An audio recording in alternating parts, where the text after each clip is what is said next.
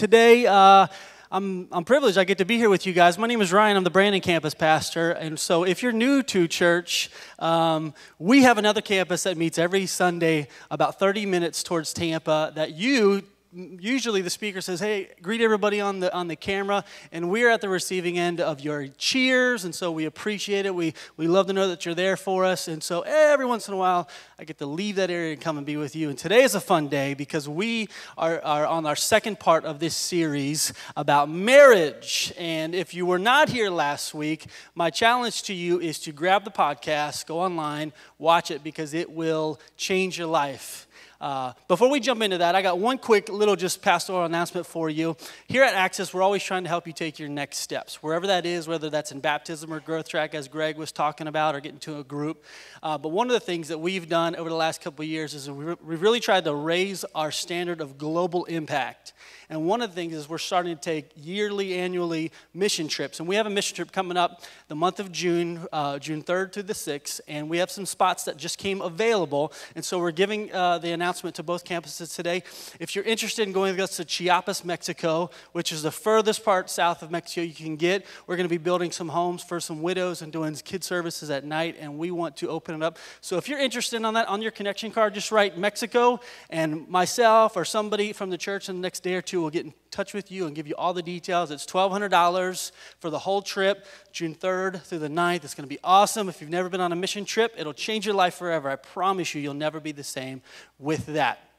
Now, if you were here last week, uh, we had a fun week. Pastor Jason and Liz kind of uh, had a different approach. Instead of sermonizing you guys as we do every week, instead of dropping bombs of theology, we decided this, we're in a season that um, we need to kind of bring some practical application to our lives. I, I, don't know what the deal is, but the past maybe two months, there's been um, a rise on marriages under attack. And it's easy to say the enemy's attacking us, which he does. But there's also some things that we, as a husband or a wife, should analyze and bring into our lives in marriage and say, are we a part of the problem? Because kind of the enemy sometimes steps back and says, I don't really need to do much because they're handling it all by themselves, right? And so uh, marriages have this target on their back, like on the back of the couple, and that's by design. If you look into the New Testament, uh, many of the writers have this imagery where they, they, they uh, kind of compare marriage and God, and they call us the bride of Christ.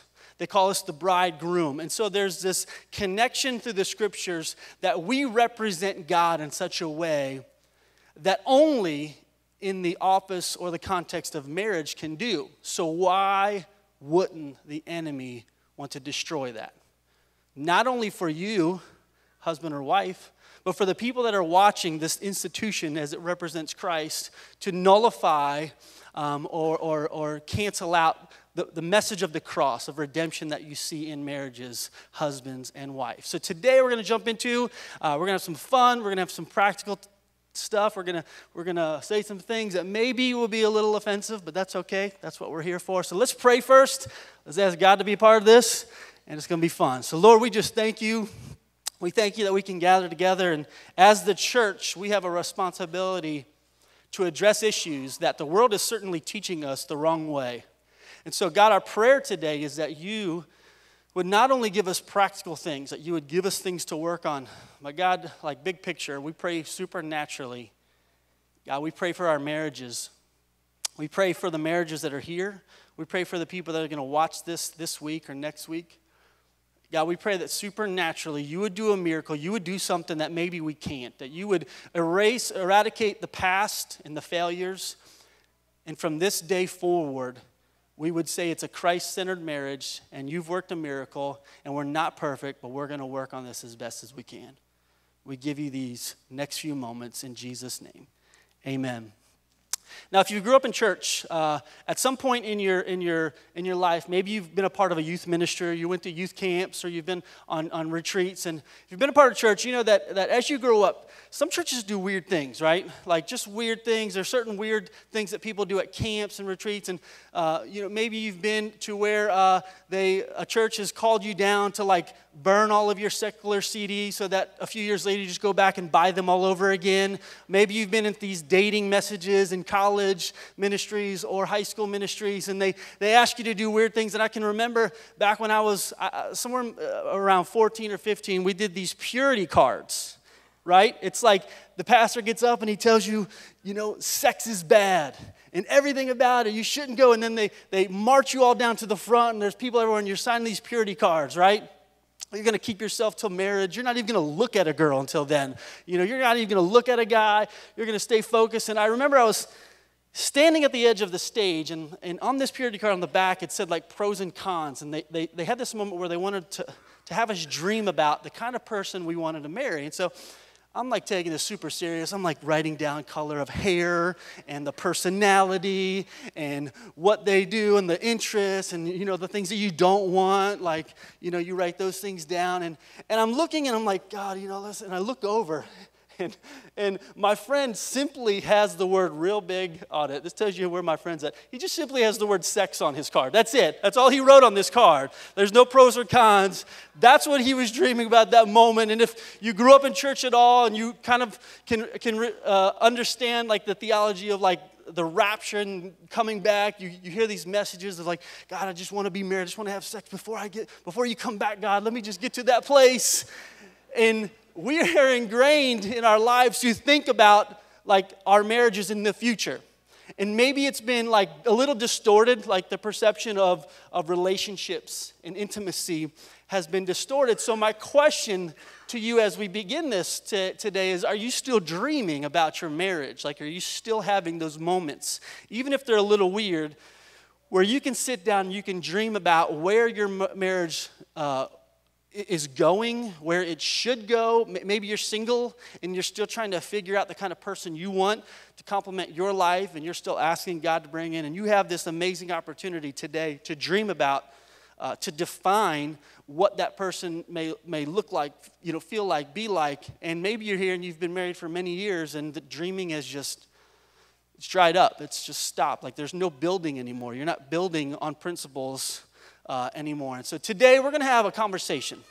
And if you're here last week, Pastor Jason and Liz kind of came with some fun stuff, and they talked about these three uh, marriage killers. And they talked about uh, fighting fair and establishing boundaries. And it was very powerful, very powerful stuff. And so today, I'm going to invite my way better half, Julie, to come out and kind of talk with a few points today uh, about marriage builders today instead of marriage killers. So, would you give a hand clap as my wife comes out? Would you give her a huge hand clap? Welcome, Julie, good to the stage. Hi, everybody. It's so good to see you. Thanks for letting me be here. So, today we're going to kind of go through three marriage builders today practical principles that you can easily apply to your life, your marriage, whether you're, whether you're want to be married, about to be married, you've been married for 20, 30 years, you can build on these timeless principles that really, at the surface level, may seem basic, but when you get down to it, for some of us, it's honestly the hardest part about it. It's the hardest things that we do in marriage. Yeah, and, and just to begin, before we get started on the things that we've put together, if I'm just honest with you, I feel a little unqualified, you know, to sit here and talk to you. We're 14 years in, and we're Super proud of that. 14 years is a great accomplishment. But there's some people here that um, have a lot more life experience and uh, experience in their marriages and probably could sit here and tell us a thing or two. But um, it's really humbling to be here and to be able to share what we've walked through. And so, you know, we sat down this week and we put together in as much as we could tell you that could probably um, take a week to go through this at a marriage seminar. We put down and, and formulated the three things that we feel build our marriage that have made us strong, things that we've walked through, and that we think to be able to share with you in the next 20, 30 minutes um, are things that will strengthen your marriage and build them. So we can go ahead and get started. And uh, the first thing that we want to share with you that we think is a, is a top priority to build your marriage is to always seek God. And as we talked about that, and we were, you know, I was, you know, brainstorming and trying to think through what, what does this mean? Does this mean our, our devotion to God, our time with Him? And yes, those things are important, but I think that it has been so ingrained in us from the beginning, from maybe praying parents, maybe not, but we're always told to look for the one, right? Like that perfect person that just fits the molds, that complements every area in us that isn't necessarily a complemented area or just makes us perfect or is great looking. Or maybe you had that middle school list that check off of exactly the attributes that you wanted in another person. And the problem with that is is that we do have it in my opinion completely messed up because the truth is is that god is your one and your spouse is your two. So we don't often hear someone coming up and be like, Mom, I met the two, you know, I met the, the number two. That just kind of seems to have it backwards. But what I mean with this is that our foundation, you know, there, let me backtrack a little bit. Um, there is going to be a time, if you haven't experienced it yet, you could maybe look back and see it, where there's going to be hard times in your marriage. There are going to be times when you're just really not happy or things aren't going great. And when we make the mistake of not prioritizing, and what I mean with seeking God is, is putting in place priority of where God belongs at the very foundation of our relationship. So, what happens when things get hard? What happens when you're not feeling it? What happens when you hit trials, you add children to your family, something else happens? When you don't have God in the spot that He wants to be, which, if you read the, the scriptures before in Matthew 6 33, it says, Seek first the kingdom of God and his righteousness, and then all these things will be added to him, to, to you. So God recognizes that these are desires and things that you want, but if he's not in that number one spot, you have nothing to fall back on. And so many couples are trying to do it on their own, and they have no foundation in their walk with God. And I think that that's a really, really, really dangerous place. So the idea behind that of having God as one, and then he adds on to you to make your spouse number two. Yeah, I love that. Uh, in, in, Matthew, Jesus, when he was presented with the question, What's the greatest commandment? he didn't say, Love your spouse. Uh, he said, Love your God uh, first. He said, right here, Love the Lord your God with all your heart, mind, and soul first, and then love your neighbor as yourself.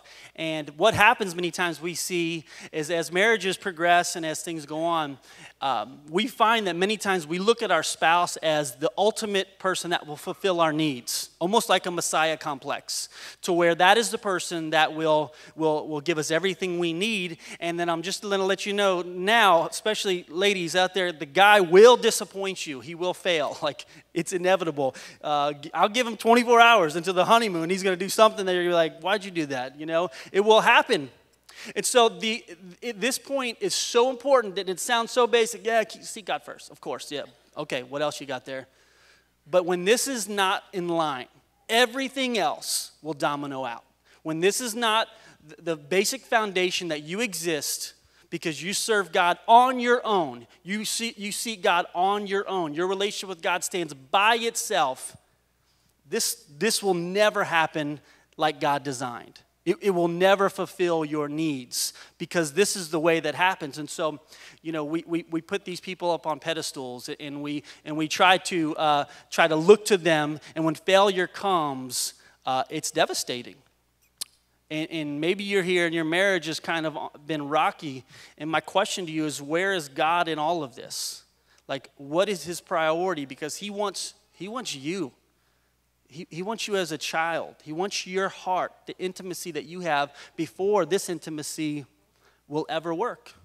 And it's the basic principle that you build uh, a marriage and then a family on and kids, and the kids are watching and they see this.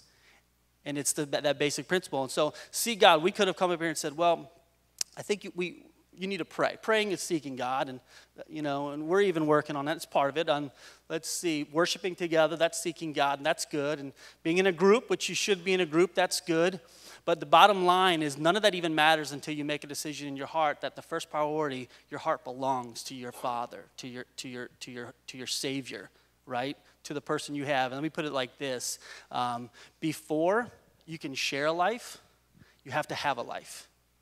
Like before you can share intimacy with a significant other, you have to have a life established, uh, founded in, in, in God.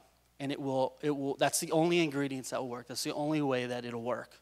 I agree. Yes, and it's all about, you know, uh, you may have mentioned this, but, but having them as an idol, and, and that is not the heart of God. You know, he has said, no, no other gods before me. And so it's, I mean, if I'm honest, it's easy to make a priority my spouse or my children. It kind of just is easy because it's there and we're in relationship. But I, I can't, I mean, Ryan, I can tell you how many couples we've spoken to that this is where the problem lies, is that they have no foundation. They have nothing keeping them sturdy. So they're, they're dependent on one another so much that that's when, they, when that one is not there to fall back on, things fall apart.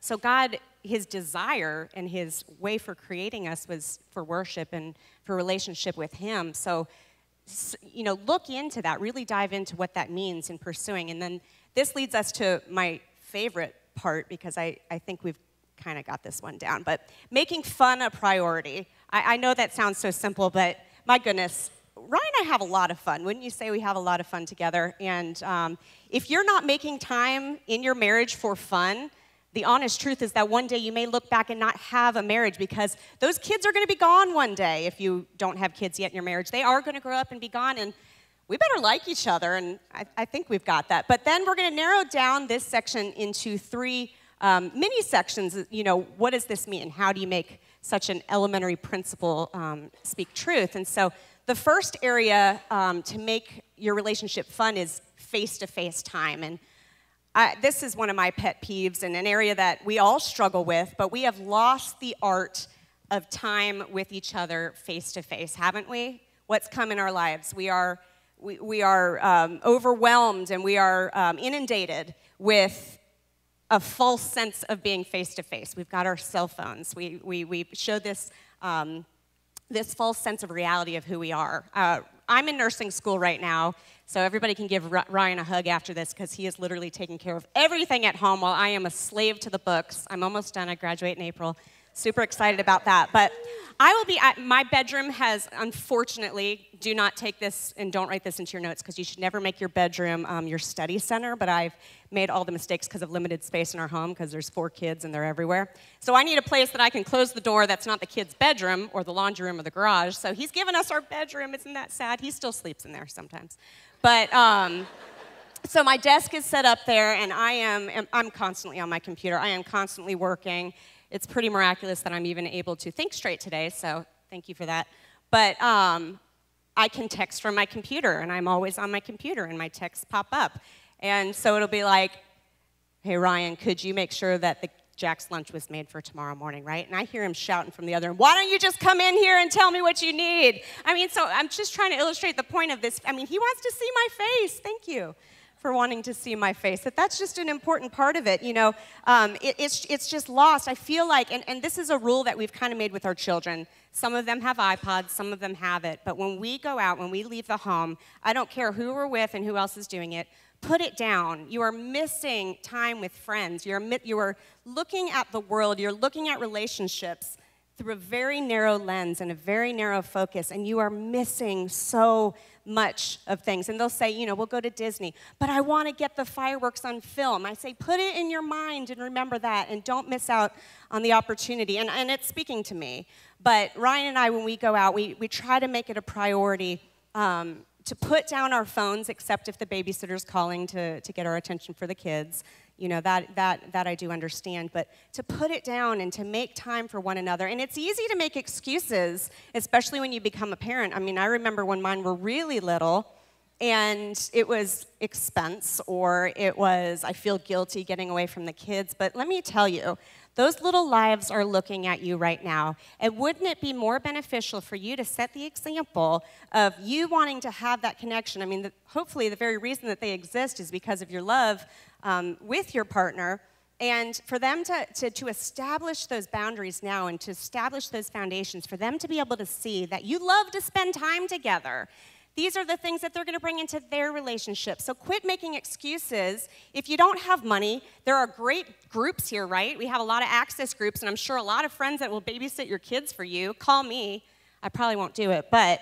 Um, but I might. I'll think about it. I'll send somebody out there. But it's so important that you that you spend time together, that you're face to face, that you don't lose what you first had and what you first loved. Because when it's gone, what's left? Yeah, the, intim- the intimacy of face to face is so important. In fact, as a pastor, like the three things that we usually see where marriages fail are communications, finances, or sex. Those are the, it's the three. It's the trinity of what we see when marriages fall apart. And the Song of Solomon, if you have your Bibles, I want you to go to um, uh, Song of Solomon chapter 7. And if you know about Song of Solomon, it is provocative. It is like, wow, are you allowed to say that in the scriptures? It's steamy.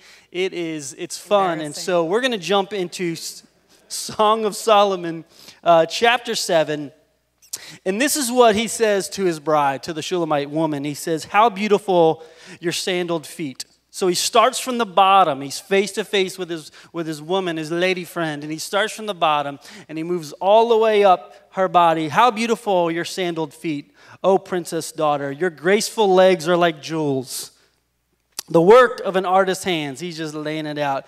Your navel is a rounded goblet that never lacks blended wine. I'm not sure what that means, but that's okay. Your waist is a mound of wheat. Like he's just, wouldn't you love to hear this, lady? You ladies, your waist is a mound of wheat encircled with lilies. Your breasts are like two fawns. like twin fawns of a gazelle. He's, he's excited about this. He's writing his, he's putting his heart out on these, on these pages. Your neck is like an ivory tower. There's a good one. Take that one. That'll, that'll, your eyes are the pool of Heshbon by the, ba- by the gate of Bath Rabim. He is going through and he's sharing details. Guys, listen. Share details. Men, say details. Details. Say details again your, our, our wives want to hear details. That means you need to, I don't care what you have to do, you need to remember the day that your wife gets a haircut so you can compliment her. If she's wearing a new outfit, compliment her. Talk about the details of her. Compliment the details of her. If you've not had an example of your past to share things, to, to verbally communicate your approval towards your wife, then you need to start doing this today. Guys, share details. Women love to hear details. Women love to know that they have a husband that sees the little things about their life that are that are they see the important little things. That if there's a that if there's a test coming or a work project coming or if they've just had one of those days and you know that they're just like they're done. Like they're like I'm not going to be a mom anymore. The kids are driving me crazy. Listen to the details. Listen and hear the details so you can step in and you could be what your wife needs. That's that face to face uh, communication. Solomon's amazing. He just laid it out for us. I don't know why you don't write me like that, but um, yeah, details are, and we like to share them too. And so listen to those details. Poor Ryan. I've been in the hospitals, and if anybody has any experience in healthcare, he gets he gets uh, minute by minute details, and he has been so gracious to not get disgusted or leave me by that. But okay, so the second part of making fun a priority um, here's our another simple thing is side by side. And this is where we go and we do things together. Some of my absolute favorite memories are experiencing brand new things with my husband. Our honeymoon, we went to California and it was awesome. We got to see the redwoods and we got to see the waterfalls and uh, didn't we go to the jail in the prison in San Francisco? We did that too. That was awesome. But doing things together, spending time together is such a valuable part of your marriage is, is going and doing things. And you know, it's not always um, just doing things that we both love. We do, you know, we've been together for 17 years, so we've got a lot of similarities that have evolved and interests and things. But sometimes it's about stepping out and doing something that I don't like. You know, sitting down and watching sports on a Sunday. Maybe not every Sunday, you know, that gets to be a lot, and we have a lot of responsibilities. But me saying, and this goes into what Liz and Jason were talking about last week, is expectations saying, you owe me and love saying you before me. So going Ryan is great about that. He listens to the things that he knows I may have mentioned and then he tries to act on those things and it's constantly looking for ways to improve our marriage. He's a lot better at me better with this than I am. But, you know, putting ourselves out there, I led a, um, a ladies group over the summer and we were talking about uh, many things, but speaking about our relationships. And I said, let's this week, and maybe this will be homework for you all, let's do something that you know, and it might even be something that annoys you, but something that he loves. Why? Because you're in this for the better of them than the better of me. And so, you know, going along with that, experiencing life together, holding hands. We do like it when you come with us to go shopping. You don't like it because we spend all of your money, but we have a really good time knowing that you're there and we want to know what you think about what we're picking out. You know, everything that we do, hopefully, um, you know, in, in, a, in a solid relationship is for each other, is to better us. Face to face, side to side. And the third one, which I chose to take, is skin to skin. Obviously, you know why I gave him that one. Sexual intimacy is so important. God created it. It is an act of worship, the scripture says. And so, Song of Solomon, let's jump back in. I mean, this is the, this is the word of God. It says in Song of Solomon, verse 11, Come, my beloved, let us go to the countryside. That's the adventure part. That's the side by side. Let us spend the night in the villages. Let us go early in the vineyards to see if the vines have budded, if the blossoms have opened, and if the pomegranates are in bloom. There I will give you my love. Translated, if we go out, if you take me out, we will potentially have sex uh, anywhere you would like, in a vineyard if you would like. Now, I'm not saying you should do that. I'm just saying that's the modern translation. If you want to go to jail, I'm sure you can, yep, go for it. Sexual intimacy was created for God, by God in the context of a God centered marriage. And when that uh, gets sidetracked, when, when, when we give that away some, in some other context, it is devastating. It will devastate not only you, but it'll devastate your spouse. And honestly, you, you know this. This is, this is probably the number one reason that we find affairs that happen is because somewhere in, in, in the path, the sexual needs uh, were not fulfilled. And, and this is on both sides, guys and and, and women have this ability to get this wrong. Guys are visual. Guys feel like they need it just about every day. Guys put those expectations on uh, their spouse, and failure can happen. And so, when a guy feels like it's not being met, which is, is most likely their unrealistic expectations based off previous relationships or what they've viewed online, if I'm just honest, and so you get these images, you, you, you impose that into your into your marriage and things start to get so messy and start to get so messed up. Like uh, you know guys like we have this ability to work on this to like uh, to, to really work on this to, to set an atmosphere for that with your wife to prefer your wife to i mean guys let's like like uh, put on some music, take a shower once in a while, uh, and set, set it a romantic night out. You, you know, make dinner, take care of the kids, put them down, massage the feet, put on some Marvin Gaye. Just do set an atmosphere so that there is this lead up, this romance to it, instead of just wanting to be like, hey, hey the kids are down, let's go like romance and then women maybe just have a plan. Maybe just come up with something like step out and, and get a plan like you know guys will turn anything into into sex. They will. Like you're gonna you know she, she may say hey the, the oil light is on in the van. You need to change the oil. I'll say i'll change your oil. You know everything can be turned into something sexual everything. right uh, hey uh, hey, hey honey I'm, I'm studying can you make me a sandwich? Oh i'll make you a sandwich all right come home from the hospital with God knows what on my scrubs, and I'm going, How can you possibly think I'm attractive right now? It's like there's nothing I can do. But look, I really want to drive this point home. I almost feel like I should stand up. But, ladies, this is serious, okay? And, and this is where you can kind of see where things evolve. Um, we are the only, the only God approved outlet for our husbands. Everything outside of that is sin. You've got to take that seriously. And, and, and, and we dismiss that. Listen, I get it. I, I understand what it feels like to give all day in a physical sense, as far as with your children. Maybe you're a nursing mother. Maybe you've been puked on, spit on. I don't know what has happened throughout your day. You've been to the gym, you're sweaty. I don't know. But when you look at this through the eyes of if I am not in unity with my husband in this skin to skin realm, now listen to me. I am not condoning affairs. I don't. And if you have any problem with anything I say, you can uh, email Liz at access.tv. Anything that I say that you don't agree with, that's fine. Jason, too. But um, the point that I'm making with that is that when we close this area off and we're not in unity, we're not um, preferring you before me, it's, it would be as, as the same weight as if our husbands, which some may, have closed themselves off to, to, to, listening to the needs that we have, for us expressing the things that we've been to. We need that. That's an outlet for us. When we don't get that, we find it elsewhere. I am not saying that it's okay to have an affair. I am not saying that.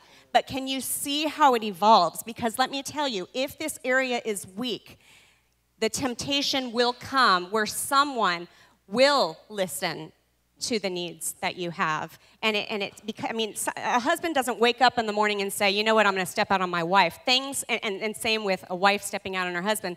Things have happened. Communication has stopped. Physical contact is less than it was. When we first got married, we had this challenge. I, I, we didn't come up with it, but it was to fill a jar with every single time you had sex in the first year of marriage, and it's supposed to be like overflowing, and then you take out a dollar the second year or whatever you had put in. But I don't know. I think we were short on money one of the months, and we just ordered pizza on the rest of that money. But you know, just the idea things are going to change. Priorities. Things are going to change in your marriage. I mean, he looks a lot like he did when he was 18 years old, but some things have changed. You know, it's not going to be the same. It's not the same. Things are going to change. And when we look at it, you know, why we got into this in the first place, it's so much deeper um, th- than the initial reasonings before this. Yeah, exactly. Have fun. And fun is face to face, it's an adventure, it's, it's sex. Sex should be fun in your marriage. Like, reevaluate some things in this area. And this is like so, like, this is 1% of this whole subject. But let me bring it to an end here because the third point is, is maybe one of the, maybe the most powerful one is it's simply this um, never give up. Man, I, I, can't tell you how many marriages that I've, I've been in, in, in a counseling session with where I hear that they just simply, they just gave up. They just, they, they got out of the fight. They stopped fighting for this covenant. And it's not a contract. A contract limits responsibility. A contract binds you to what's on that paper, but as soon as somebody falls out of what's on that paper, uh, you, you, you lose the rights that you have. A contract is permanent. It's like taking up two pieces of paper, super gluing them together, and when things get messy on both sides, when you try to rip them apart, they just rip and they break and they tear. Never give up.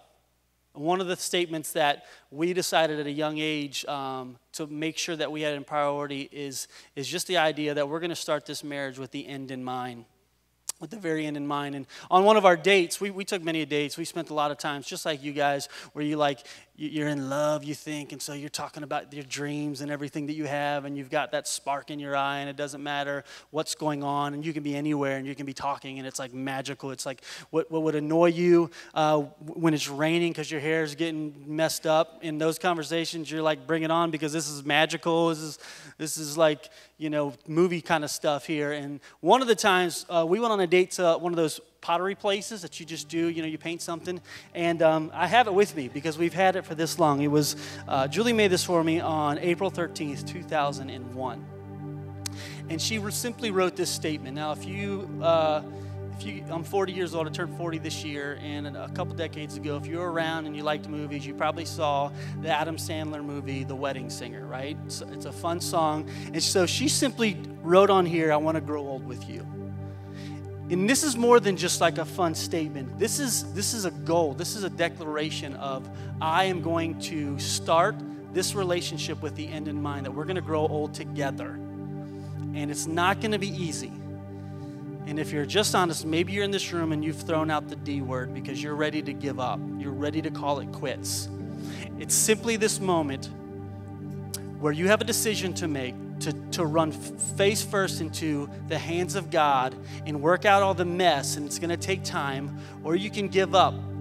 I'll say it like this you can give up like what the world would do, but we have a responsibility to protect the institution of marriage. We have a responsibility to work through our problems. This sounds so much easier, you know, saying this but you have family that's around you, have friends that are, you have pastoral staff that none of us are like uh, uh, certified counselors, but we'll help you. We'll help you take those next steps. That's why we exist here at, at Access, is to help you take those steps, and we'll get you on the path. Because from this day forward is the focus. Not what he did, not what she did, not what he didn't do, but at some point, you have to draw a line in the sand. And so, to, this is a conversation we're having. And so, two quick things. I'm going to have Julie pray in just one second. But this conversation does not end when she says amen. Like if you're if you're a married couple in here, my challenge to you is take this, and and at lunch today, or if you put the kids down tonight, have some tough conversations. you're in this for the long haul. Like you get, you get one chance at this in God's eyes, one holy opportunity to protect the institution of marriage. And love sometimes finds its way of squeezing out of that equation. And maybe you've fallen out of love, and sometimes you've got to do the actions and let the emotions follow. So today, talk through these things together, communicate, have fun, establish these things, and set the course so that in the long run, when you hit 90, 100, you're still slow dancing to some Marvin Gaye in the, in the living room. Because God wants that for you. Can we pray? Lord, I thank you so much for this, this intimate moment, Lord, in your presence, Father. And I pray that the ears that needed to hear this today, God, that they would be so opened. And Lord, I just pray that the, the points that were made today, God, that we would get back to the foundation of our walk with you, God, that we would seek first your kingdom and righteousness, Lord, and that as we do that, all other things will be added. God, you will make things right. So, Father, I pray that those that aren't feeling it anymore, God, I pray that you would awaken something inside of them, Father, today. Lord, I pray that marriages would be restored for, for those that are, are tempted with the thoughts, and that's where they begin, God. Those that, that are. Um, inundated with thoughts of what's better somewhere else. God, I pray that as what was spoken last week, the things that we allow into our into our homes, into our minds, God, that those things we would continually reevaluate. Are the things that I'm doing today building my marriage towards the end goal? And if not, that we would have the strength to remove them, God. But I pray that um, anybody here that struggles in any of these areas that we've discussed, God, that before it becomes something that it shouldn't be, that they would know to go and speak to someone about this, Lord. So I pray that uh, relationships would blossom, that they would grow, Lord, and that you would protect this covenant of marriage that society tells us to go into it thinking maybe it will work. But God, we know that your desire is to make these couples strong and to be powerhouses for the kingdom of God. So, Lord, thank you for your word that went forth this morning, God. I pray that every ear and every heart would be open and that the conversation would continue as we uh, dismiss today. And we love you and praise you. In your name we pray. Amen. Amen.